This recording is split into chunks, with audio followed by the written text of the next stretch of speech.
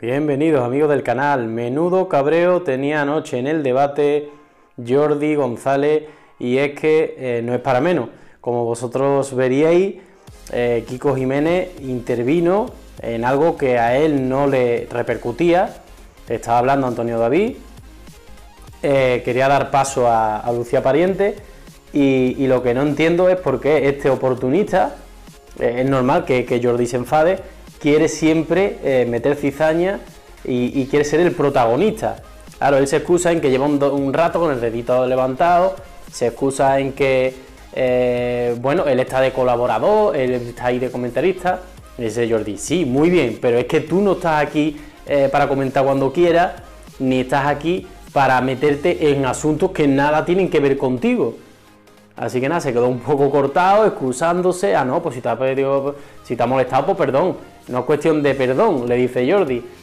no, es que, no, es que, no es que esté, es que estoy mosqueado, es que estoy cabreado, es que es normal que lo cabree. Es que cuando estás intentando hablar con dos personas de un tema y se te mete una tercera persona en discordia, es evidente que es un poco complicado llevar el programa.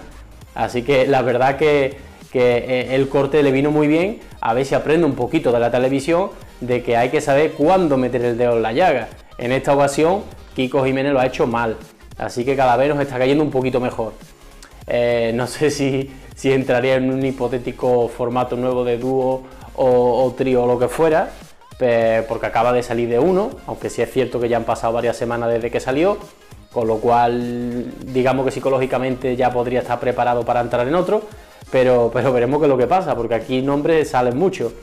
Otra cosa de la noche que, sucedió eh, fue Estela que lloró en directo se emocionó en directo hablando de que ella anímicamente estaba un poco mal, de que, de que era un poco eh, débil o sensible emocionalmente y, de que eh, eso, ella necesitaba a alguien, de, tener a alguien a su vera siempre eh, que le diera ánimo, apoyo.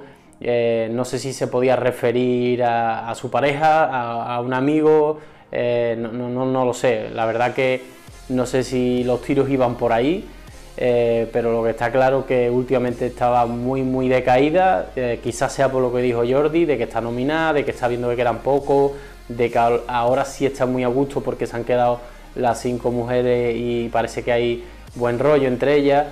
Y, la verdad que, eso, simplemente que, que está de bajona y yo que es que creo que se está viendo fuera, creo que se está viendo fuera porque está viendo que quedan escasos días para, para la expulsión y ella se está viendo fuera. Sois muchos los que en el canal me habéis comentado que creéis en los porcentajes que puse en la publicación de la comunidad que, sería eh, Estela la expulsada y otros tantos me dijisteis que sería Mila, pero habéis muchos que también me habéis dicho Estela.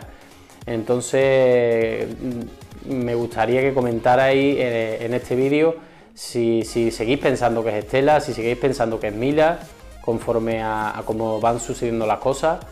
Y, nada, como ya sabéis, seguir informando. Nos vemos en el siguiente vídeo. Un saludo a mis suscriptores y suscriptoras desde Enrique García YouTube.